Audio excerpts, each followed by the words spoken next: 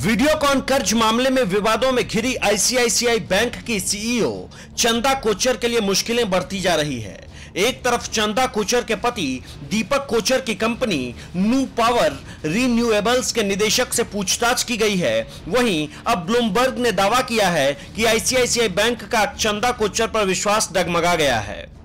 ICICI bank के board ने दो हफ़्ते पहले ही मामले में चंदा कोचर पर पूरा विश्वास जताया था। लेकिन अब ब्लूमबर्ग ने दावा किया है कि इस मामले में बैंक के कुछ सदस्यों का कहना है कि जाँच होने तक चंदा को सीईओ पद छोड़ देना चाहिए। ब्लूमबर्ग की रिपोर्ट के मुताबिक बैंक के कुछ डायरेक्टर्स चंदा कोचर के पद पर बने रहने का विरोध कर रहे हैं। इधर देश के दूसरे सबसे बड़े निजी बैंक आईसीआईसीआई का बोर्ड चंदा कोचर के इस्तीफा देने के मुद्दे पर इस हफ़्ते मुलाकात कर सकता है। चंदा कोचर का कार्यकाल 31 मार्च 2019 को खत्म हो रहा है।